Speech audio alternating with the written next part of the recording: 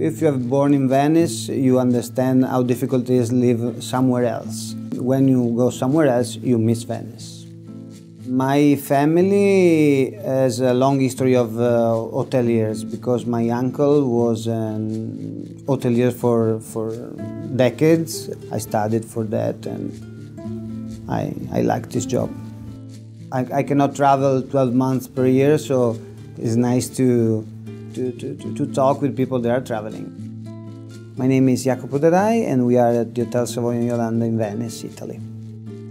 Uh, the name itself, Savoia Jolanda, came, came from the, uh, the Savoia family that was the king of the Italy before the Republic. And uh, Jolanda was the, the princess.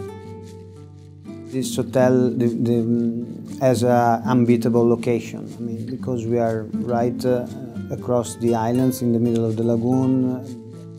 We do have something special. There are an extraordinary restaurant, and also we have a boat of the hotel that uh, guests can use. The style of the room are very unique because they are typical Venetian and you can feel the, the Venetian atmosphere when you are in the hotel.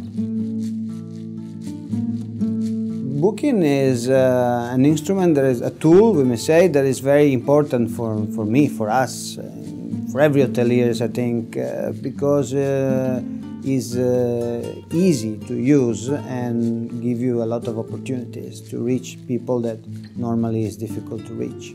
I think the best point, uh, the best value and yes is about uh, focusing on accommodation only not flights, not tours and stuff like that. I think is not only for for our side, but the guest side is very important.